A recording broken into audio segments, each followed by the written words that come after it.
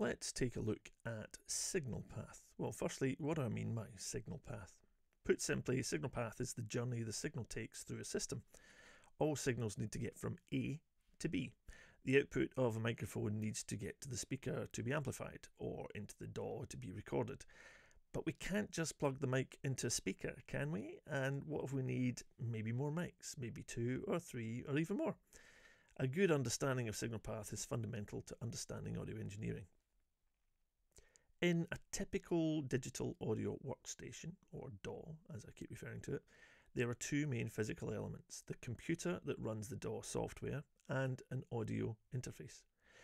The audio interface is a two way device. Firstly, it digitizes audio it receives in its inputs and sends that digital information to the host computer. Then the computer processes that information and outputs it in digital format to the audio interface again, and that turns it back into analog information that can be listened to by musicians and engineers. The brilliant thing is that once audio has been digitized, it can be transferred along a single cable unlike its analog equivalent that needs at least a single cable for each channel of information. Similarly, information coming back from the computer also uses a single cable. So, USB or Thunderbolt, for example, will do the job of both sending the information and returning it. Perhaps the simplest signal path is a single microphone going into a DAW and the backing track, and the vocal microphone signal being sent to the musician's headphones. So the microphone gets plugged into the input of the audio interface, and this gives us perhaps the most important rule about signal path in that outputs always flow to inputs. We can't plug inputs into inputs or outputs into outputs, or nothing will happen. Anyway, back to our DAW. The microphone's analog signal is digitized by the interface and sent back to the computer, which then outputs it along with the backing track to the audio interface, which changes it back to an analog signal that's sent via a small amplifier to the musician's headphones. You can clearly see a, a sort of loop of signal.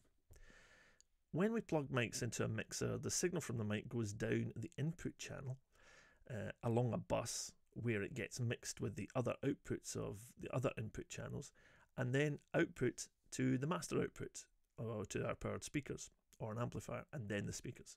It's nice and straightforward, but it's worth understanding what's happening in each input channel. So let's zoom into an input and see exactly what's going on. The first stage of our input channel is incredibly important. It's called the preamplifier.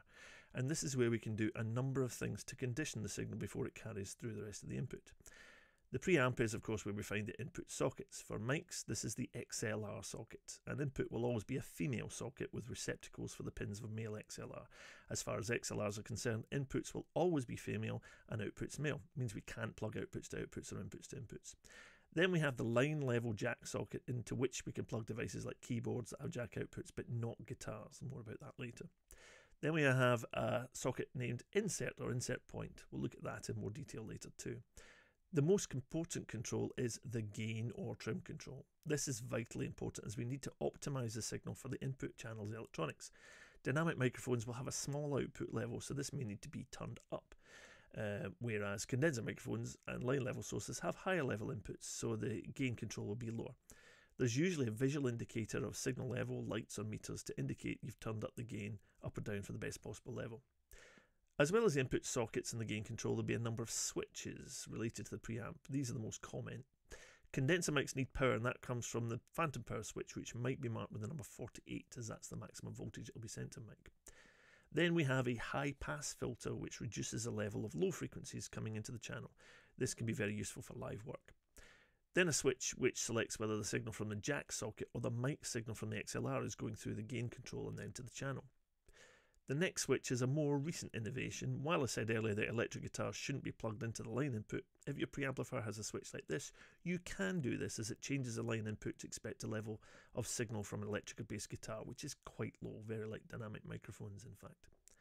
The next two switches tend to be found only in higher end devices. The pad switch, first of all, reduces the input level by a predetermined amount, usually 10 decibels or so. Uh, so if an input signal is really loud, using the pad switch will reduce the input level to the channel by its marked amount. Finally, a phase switch, which flips the incoming phase upside down and thus inverting the wave. Don't worry if you don't have all of these in your interface or mixer, you'll have some combination of them though. Let's zoom in on the insert point now. It can appear confusing, but it's actually very simple. Let's say, for the sake of an argument, that we want to compress the output of a condenser mic, maybe for a vocal. We plug the microphone into the preamp.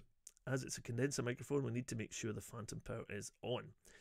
Then we adjust the input gain correctly to make sure we're optimizing the operation of the channel after it. The signal coming out of the preamp is now sent to the insert with a single TRS, tip ring send, jack plug that uh, uh, uh, the output of the preamp connects to the tip of the jack plug which is connected to the input of our compressor. The output of the compressor is then connected to the ring element of the TRS jack. That's connected to the next part of the channel and the signal that's been compressed carries on through the electronics of the channel. It's actually very simple. You may have noticed on the mixer channel of a DAW that the very top of the channel is called inserts. And this is where we apply plug-in processors like compressors. So the signal flows through them in the same way as through a physical compressor via an insert point. There are five inserts here uh, and they're ordered from top to bottom. So the signal in the DAW passes through one, and then into two, and then into three, and then into four, and then into five, one after the other. This is a direct emulation of the insert point in the real world, and plugins applied at this point will only affect that channel. Let's have a look at the signal path through a channel. So the signal comes in at the preamp where we set the level, then it flows to the EQ. After the EQ, it flows to the pre-fade sends. Worth looking at that lecture on its own to get the full rundown on what they do. Then the signal flows to the output fader. The signal from the fader goes in a few directions. Firstly, to the pan control for routing to the left and right outputs, but also to the post fade sends, where the signal can be sent to effects processors, for example.